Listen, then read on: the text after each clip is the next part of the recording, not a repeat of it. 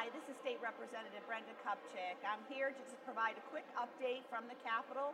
It's today is Wednesday. Last night, very late last night, uh, we were able to pass an 8-30G reform bill out of the House. It's been literally years uh, of hard work, compromise, and a lot of negotiation to get some language that would reform the 8-30G statute, which is 30 years old and has dramatically impacted Fairfield and other communities where it allows predatory developers to come in and overbuild and skirt around local zoning laws and has really uh, dramatically changed the way Fairfield has been able to plan how our community grows.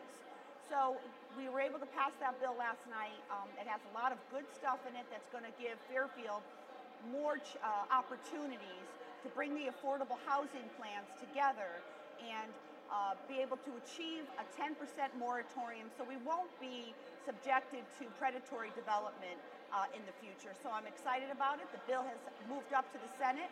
Hopefully, there's a statutory rule that after a certain amount of time, I believe it's two days after it passes out of the House, it can be brought up in the Senate. So I'm really hopeful that Friday, uh, either Friday or Monday, the bill will be brought up in the Senate and we'll head to the governor's desk.